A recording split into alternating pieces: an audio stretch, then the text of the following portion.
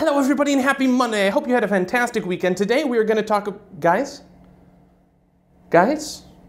Guys, what are you doing over there? It's time to do the video. I haven't even cleaned up the whole rest of the apartment. Just can you be in the camera, please? Okay, okay, good. Let's get started. Okay, so hi, everybody. I read a book called Ready Player One over the weekend, which was amazing. I'm gonna do a review of it on my book channel next week, but I wanna talk a little bit about it now. But the book is really engaging. It talks about 80s movies and video games and just what an immersive experience they can be. And I started to think about just how fun it is to get lost.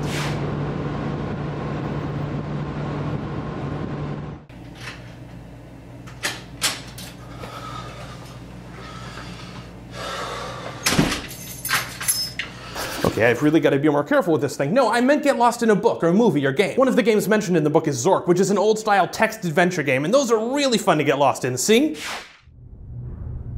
Your eyes slowly open to find yourself in a damp dark prison cell. Exit cell? I don't understand the word cell.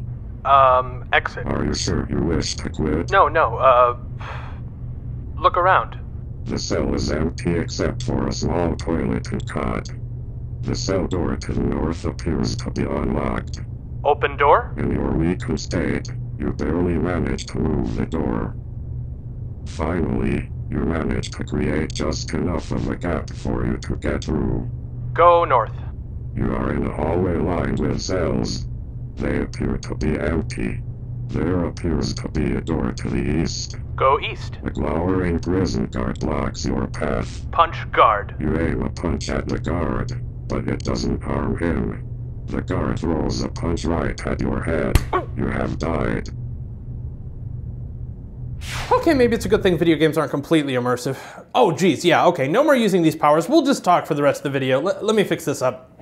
Okay, that's much better. Anyway, I find it really interesting that there are those books and movies where you feel really invested in the characters, but there's still that awareness that you're not there, you're observing them, you're not participating in the adventure. And that's one of the things I really like about games, including, and I'm not ashamed of this, tabletop games, because not only do you get to experience a new world, you get to interact with it. And certain video games are that way. World of Warcraft was certainly that way, the Half-Life games, and I'm sure for some people that write fan fiction, that's a way that they get to interact with a universe that they otherwise might not be a part of. So my question for you guys is where do you go when you really want to get lost? Is it a movie? Is it a video game? Is it a book? Let me know down in the comments. That's gonna do it for me today. Have a fantastic Monday, and I will see you on Wednesday.